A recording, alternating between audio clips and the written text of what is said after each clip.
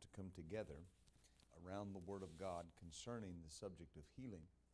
And Father, we thank you that as we minister the Word of God, that the power and the anointing and the healing uh, virtue will flow. And Lord, those watching online, those that are here presently in the, in the room, that the result will be complete and total victory in the name of Jesus. And we thank you for it. In Jesus' name, amen. So we want to go to Matthew chapter 8, is where we're going to begin. And uh, especially for this beginning class, I, I, I will say, and something that I say all the time concerning healing schools, that one, one session builds on the next session, and, and the next session builds on the next session. And I realize that, that we all have lives, we have things that we need to do. Uh, but I feel that it's very important if I'm going to walk in health. Uh, and if, if you're here or online looking uh, for healing, uh, it's very important that, that I'm under the Word, if not in the, the, the room, if not in the auditorium, watching online, listening, because uh, you know, very often we say faith comes by hearing, but the Bible says, uh, just as importantly to me, in the book of Proverbs, that the Word of God is medicine to my flesh.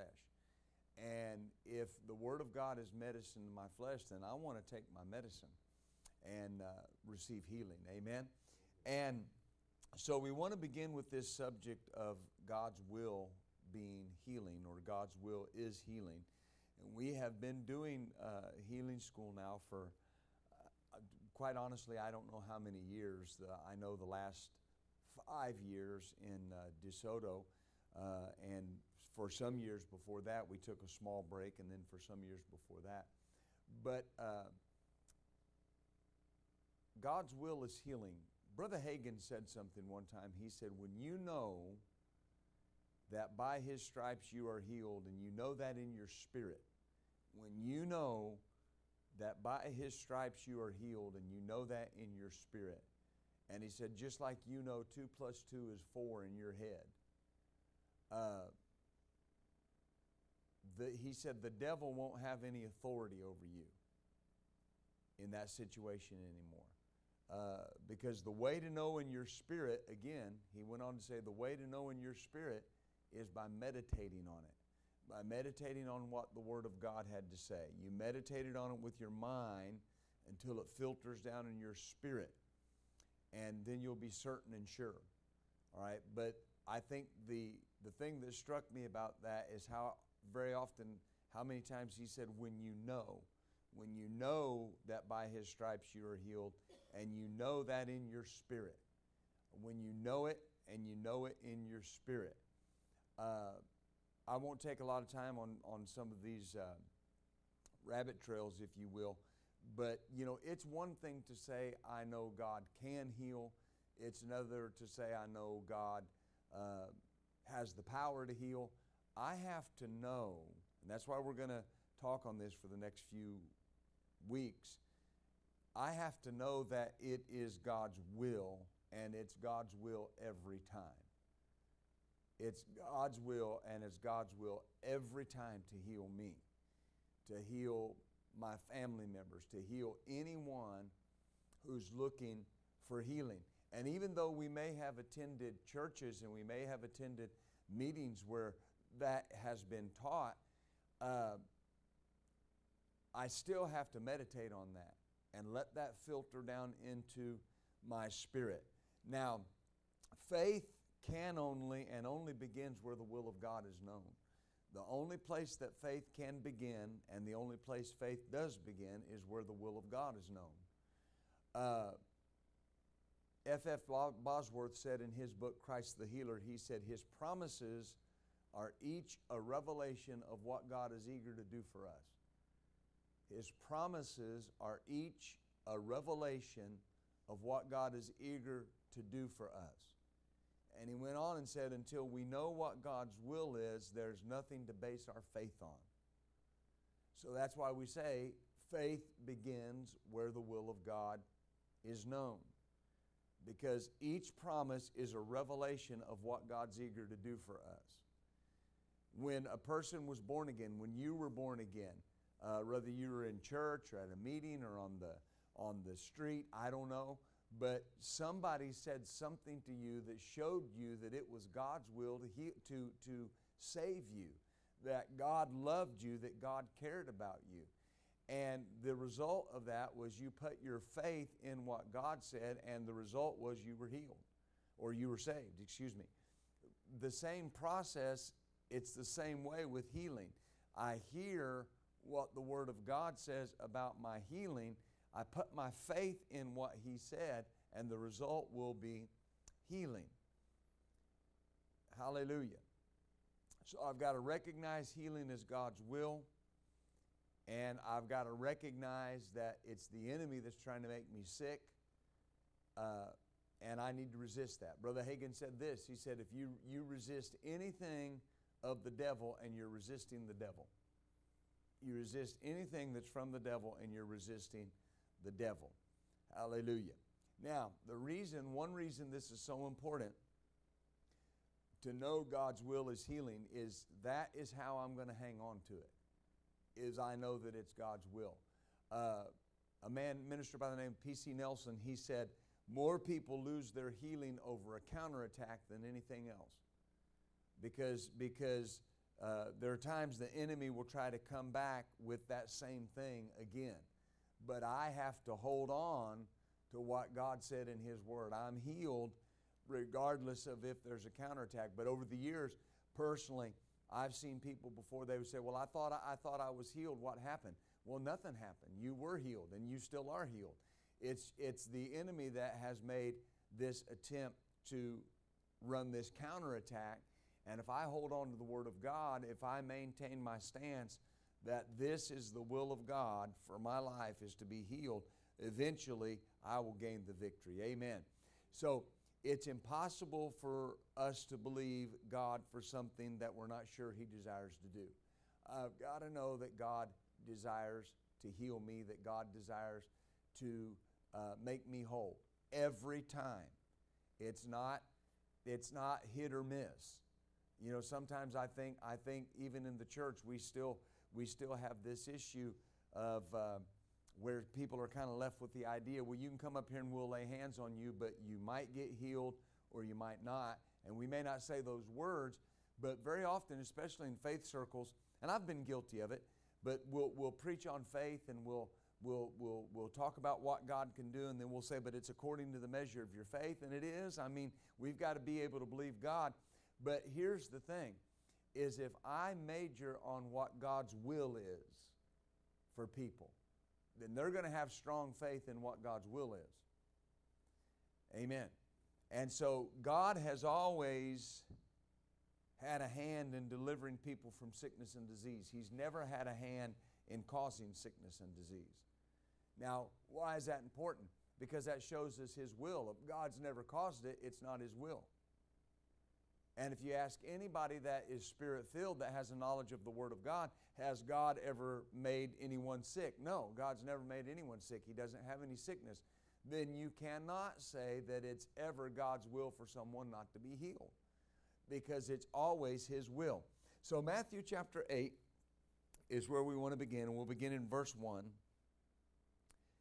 And it says, When he, meaning Jesus, was come down from the mountain, great multitudes followed him. And behold, there came a leper and worshiped him, saying, Lord, if you will, notice that phrase, if you will, you can make me clean. And Jesus put forth his hand and touched him, saying, Notice, I will, be thou clean. And immediately his leprosy was cleansed. Now, obviously, leprosy at this time was a very horrible disease.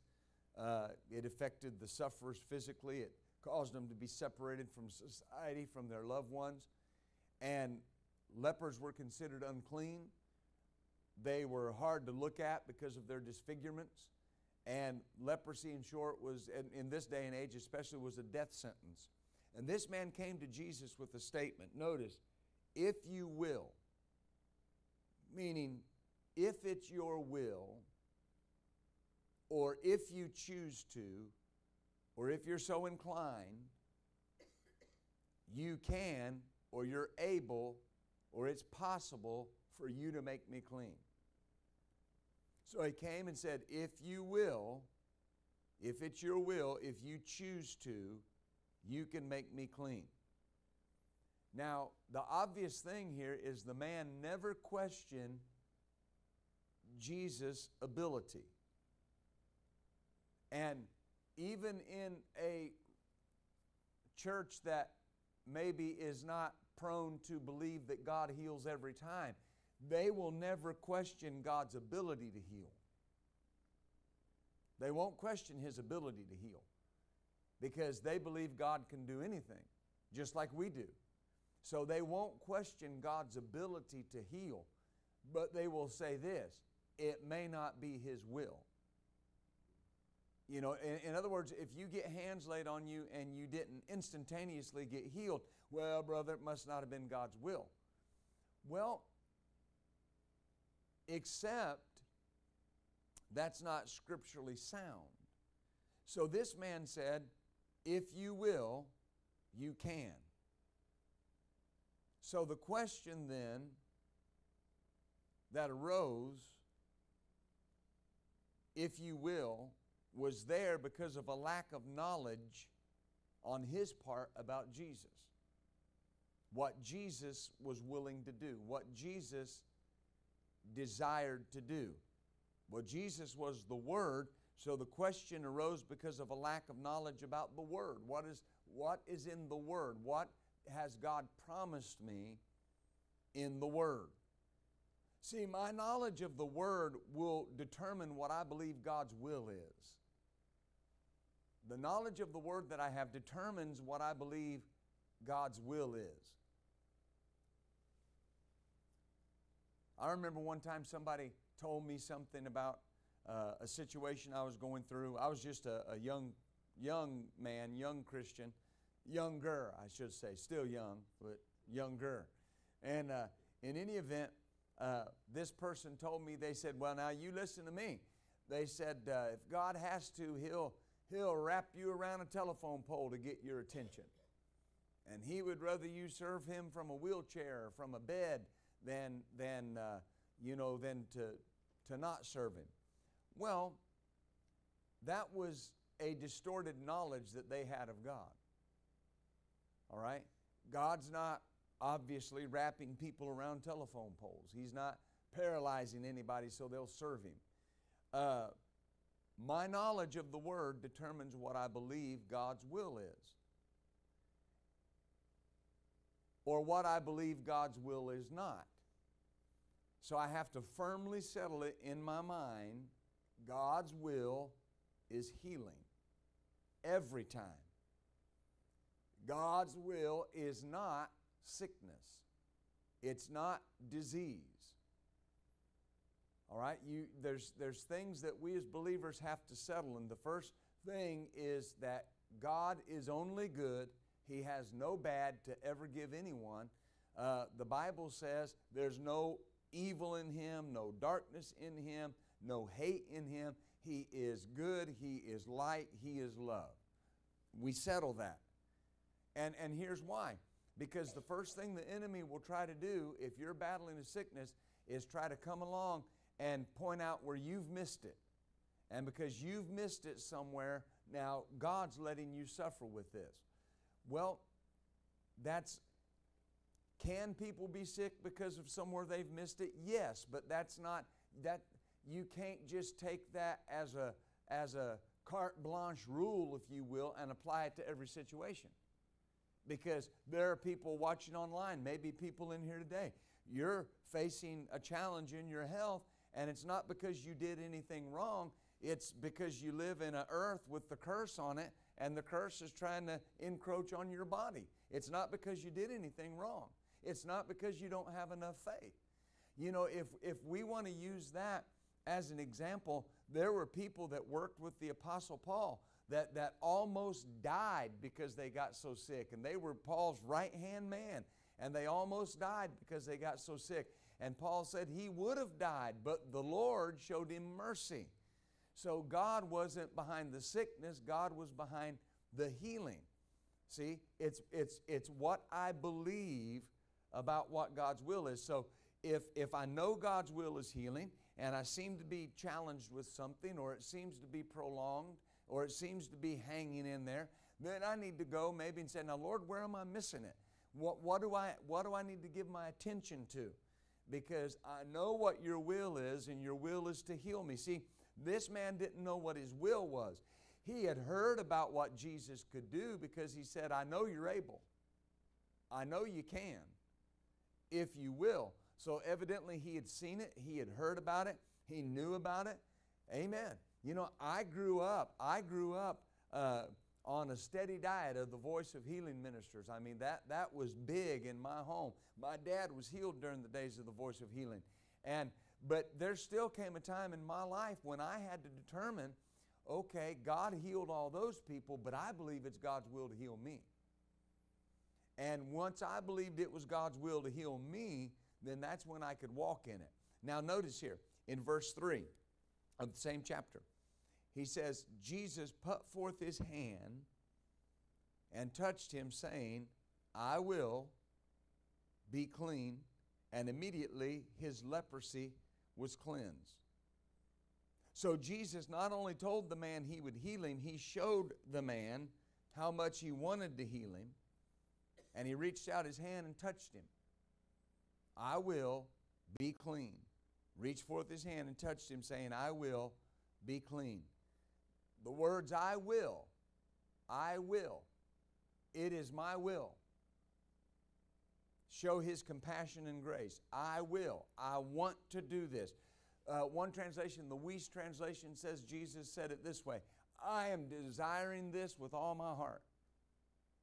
I desire this with everything that's in me. But then he said the words, be clean. They were filled with creative power and authority.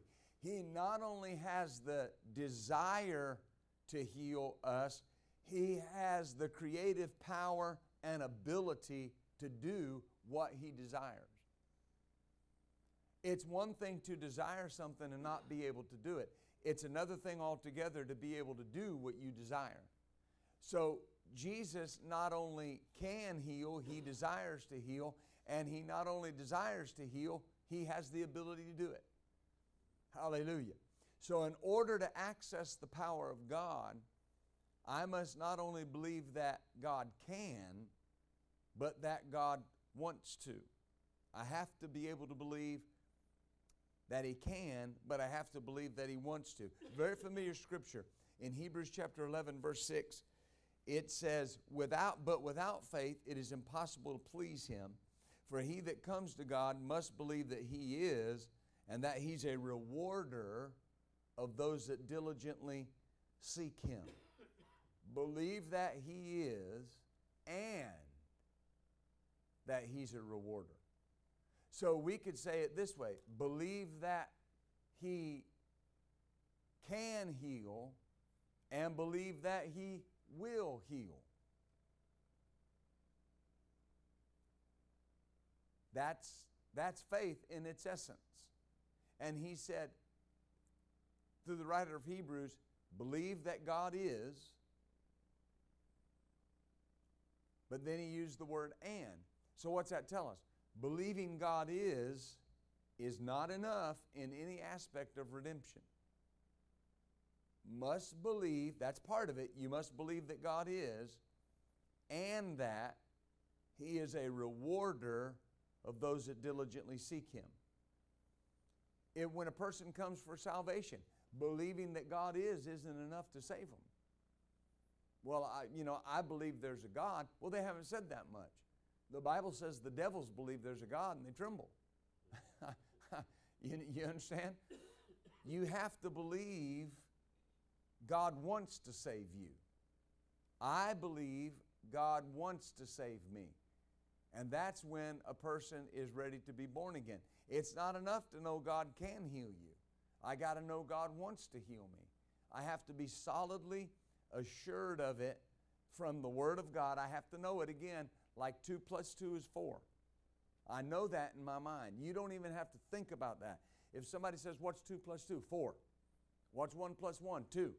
I mean, uh, those are very simple things that we all begin to learn probably before kindergarten, probably before preschool at home with mom. You know, mom taught me 2 plus 2 or 1 plus 1.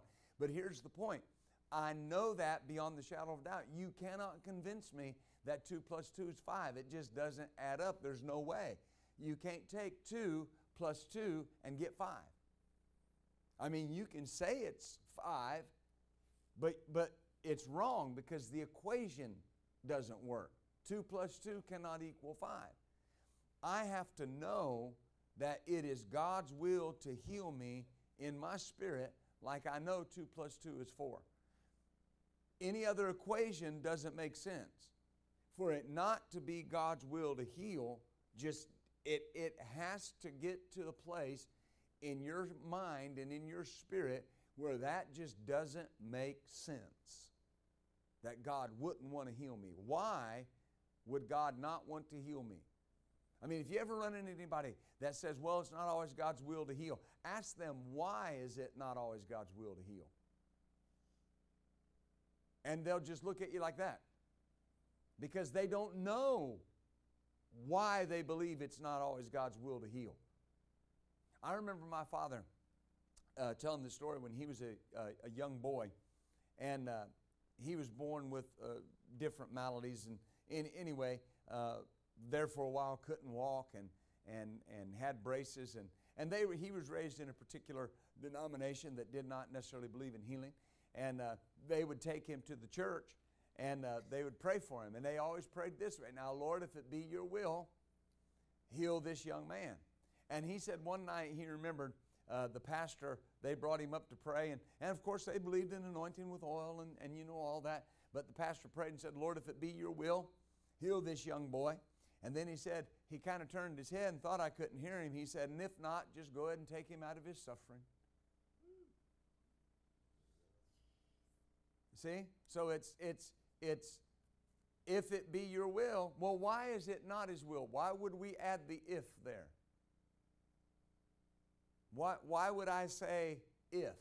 If, if uh, uh, any of you all, Miss Gloria, Vernon, uh, Marianne, any, any of you all in this room watching online, if you came to me today after healing school and you said, uh, uh, you know, now tomorrow I'm going to bring such and such by the church for you. I'm going to bring you an apple pie. Now, I don't eat apple pie, but that sounds, that's a good illustration. I'm going to bring you an apple pie. All right? And then I looked at you and said, well, if it's your will.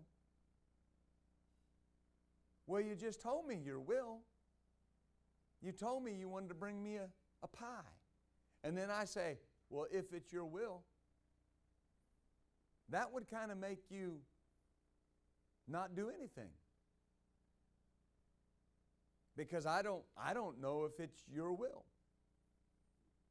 Amen. Because what I would have to say is now, Vernon said he was going to bring this pie by, but I don't know if it's his will. If it's his will, it'll come to pass, and if not, it won't. Well, now that may seem like an oversimplification, but when you ask someone, why is it not God's will? Why is it not God's will to heal every time? They'll say things like, well, there's just too many variables. Variables of what? Jesus said that if I would believe the Word of God, all things were possible. Never one time in the ministry of Jesus in the four gospel, never once. And he was the will of God in action for all people for all time. Never one time do you see him tell anybody, it's not my will to heal you. He never said it.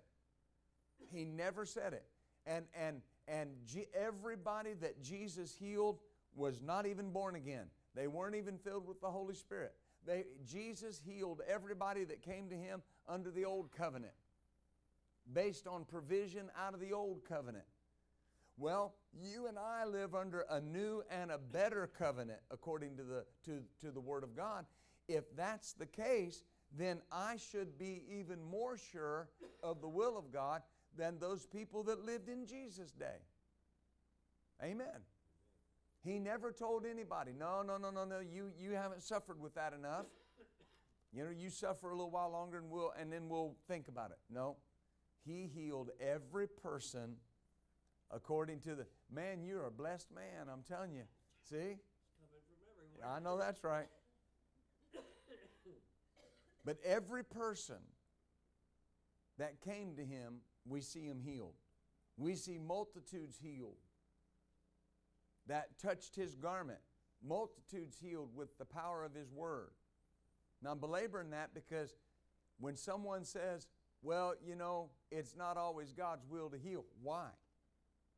Why is it not always God's will to heal? I can take you to scripture after scripture that show it's always God's will to heal, but I've never found one that says it's not God's will to heal. Ever. Not, not one, not half a scripture, not a quarter of a scripture. Because it's always His will. Now, notice here in John chapter 9. John chapter 9.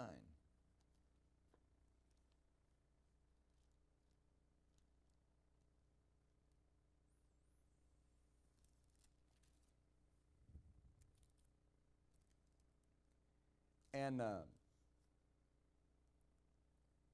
verse 1 And as Jesus passed by, he saw a man which was blind from his birth. So this man had been blind his whole life. And his disciples asked him, Master, who sinned, this man or his parents, that he was born blind? Now look, look at this. We're going to read some more of this, but note, look at this. They are immediately falling back on what their religious ideas taught them. When, if you'll remember the story when Jesus healed the man, that they opened the roof and let him down in the, in the, in the middle of the house.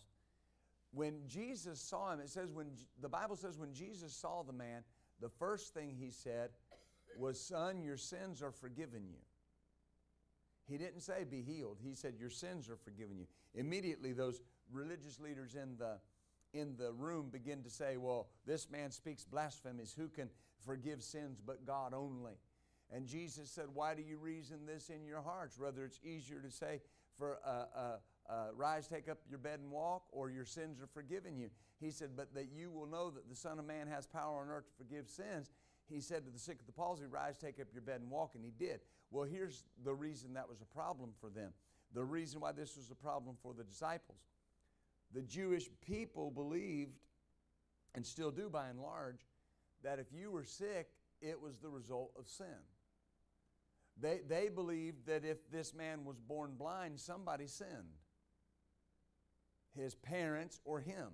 I don't know how he could have sinned. He wasn't born yet. But that's what they believed. All right? So notice something. He said, Who sinned, this man or his parents, that he was born blind? Jesus answered, Notice, neither hath this man sinned, nor his parents, but that the works of God should be manifest in him. Now, we're going to read some more of this, but religion has taught for a number of years.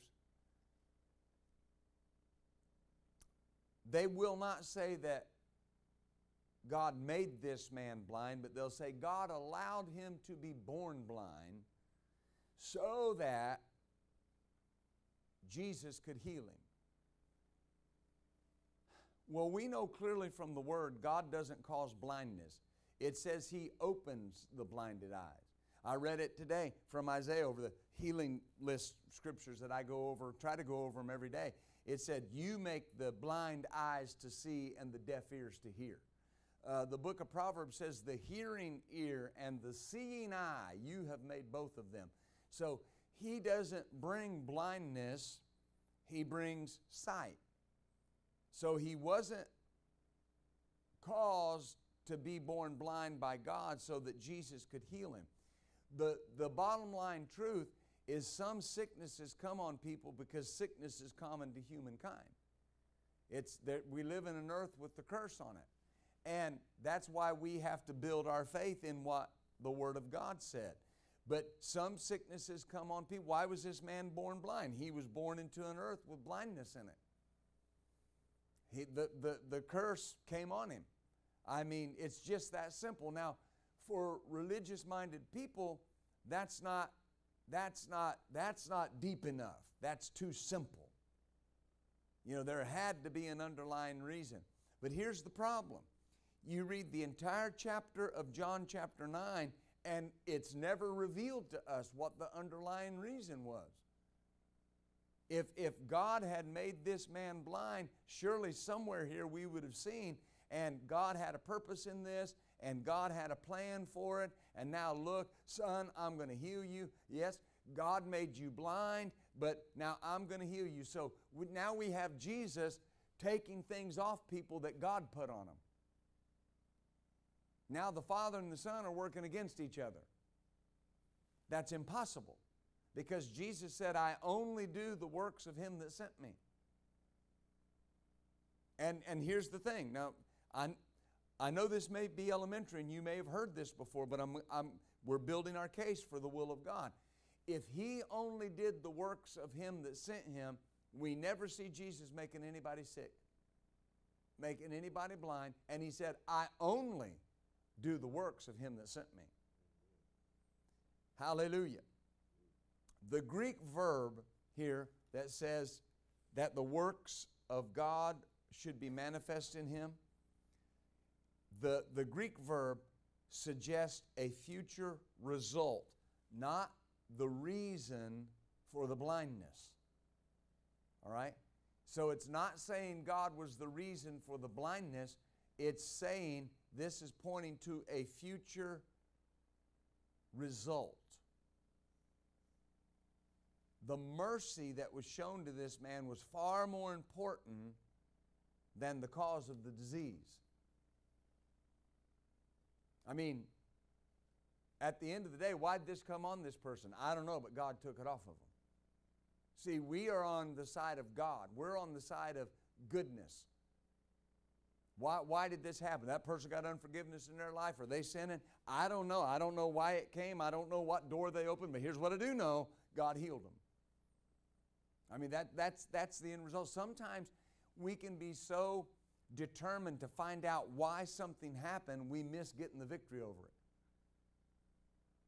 And, and there are doors, again, that can open, but everybody that you know is not sick because of unforgiveness. Everybody that you know is not sick because of sin. Are there people that are sick because of sin? Yes. Are there people that are sick because of unforgiveness? Yes. But there are people that are sick because they work too hard. There are people that are sick because they didn't take care of themselves. There are people that are sick for any number of reasons. Here's the point no matter what the reason is, God said, I'll take it off of you. That, that's what we focus on.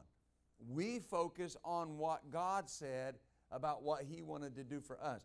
Now, notice, Jesus said, that the works of God should be made manifest in Him. The works of God should be made manifest in Him.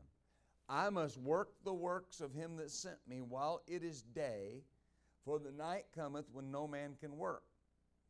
So notice he's talking about the works of God are going to be made manifest in this man. So, what does that tell you?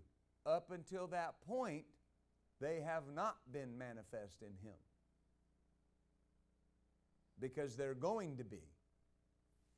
Then he says, verse 6 When he thus spoken, he spat on the ground, made clay of the spittle, and when he had anointed or spread the clay on the eyes of the blind man, he said, Go wash in the pool of Siloam, which is being by interpretation sent.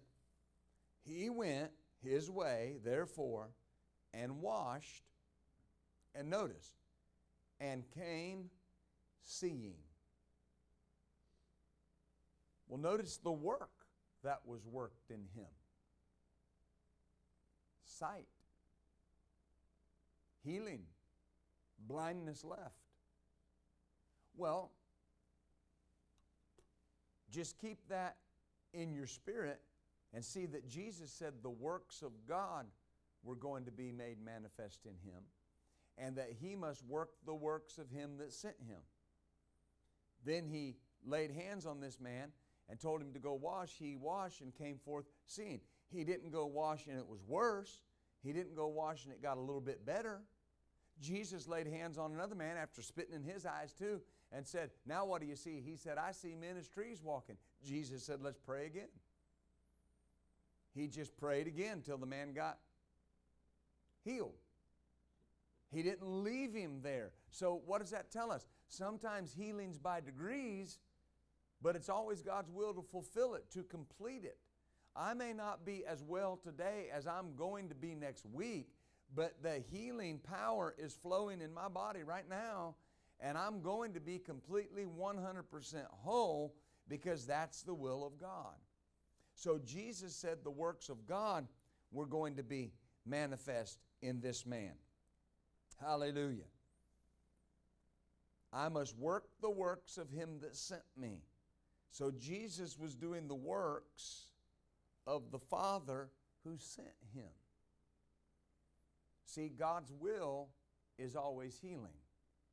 And look over here in Mark chapter 5. This is a familiar verse.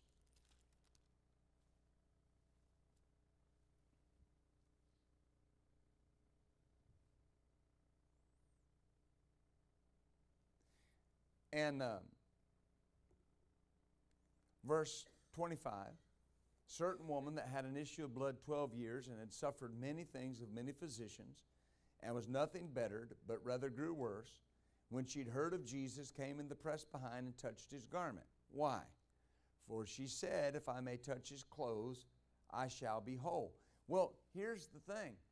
What made her think that if she touched his clothes, she could be whole. Well, obviously, she had heard of Jesus. She had maybe seen some miracles or heard about miracles. But here's the point this shows she understood a willingness to heal. That, that's why she was willing to press through the crowd and touch his garment. And notice, when she touched Jesus' garment, she felt she was healed of the plague. And Jesus, immediately knowing in himself that virtue had gone out of him, turned in the press and said, Who touched my clothes? And he looked round about 32 to see her that had done this thing.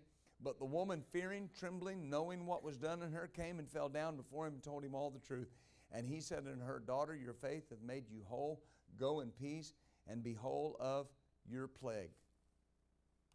See, he's working the works of the Father. He, he was not even cognizant that this woman was anywhere in the vicinity. But the moment she touched him with the touch of faith, that power leapt out of his body and completely healed her. Th- these are the works of the Father. If, if healing was not God's will, then this woman was accidentally healed. No, it was God's will because we see it in other places where everybody that touched him, the Bible says, was made whole. Everybody. It says he went and he, and he taught, and the multitudes came. And it says, as many as touched him were made whole. There were other times he was ministering to multitudes. And if I can take the time to, to say this real quick, sometimes I think people don't understand the maybe the magnitude of Jesus' ministry. I mean, when the Greek uses the words multitude, here's what it basically means an innumerable amount. They couldn't, they couldn't count the people. There were so many people they couldn't count them. I mean, just, and the Bible says when Jesus went places, that multitudes came to him, bringing their sick. And I mean, multitudes. You couldn't number them, thousands, hundreds of thousands of people. And it says, as many as touched him were made whole. In one place, it talks about a multitude, and it says, He healed them all. All of them. Everybody got healed. When he went, when you look in the, in the book of Luke, chapter 4, Matthew, chapter 4, it tells us the story about Jesus uh, leaving the synagogue, and he went to Peter's mother in law's home, and she was sick with a fever. And it says that Jesus healed her. And Charles Capps always said that's why Peter denied Jesus because he healed his mother in law. I, I, I, don't, Uh, Charles Capps said that. I didn't say that. But in any event, uh, the point is, the, the point is, then it says that they heard Jesus was in the house and that they went and got all the sick in the city, all the sick, and brought them to him. And one, one, one of the Gospels says Jesus stood in that doorway and laid hands on people from sundown to sunup. And it says he healed them all. And then it says those that were demon possessed were delivered. Here's my point in going through all those stories. If it wasn't the will of God to always heal everybody every time, surely somebody in those multitudes wouldn't have gotten healed. But Jesus said, the, the Bible says, He healed them all. And people are very quick to bring out the one verse. And they say, well, Jesus didn't get everybody healed because, because look, you know, uh, he could do no mighty works there because of their unbelief. But he, it wasn't for his lack of trying. It wasn't because he didn't want to heal them. It was because they were offended at him. It was because they did not exercise any faith in him. He wanted to heal them. It says he laid his hands on a few sick folk and healed them. And people have taught over the years that that was just people with minor ailments. But the Greek word for that, that word sick, it's, it's, it's akin to the word mega. These were sick, sick, sick people. They were paralyzed. They, could, they were at the brink of death. They were, he laid his hands on a few of the worst cases and they were healed.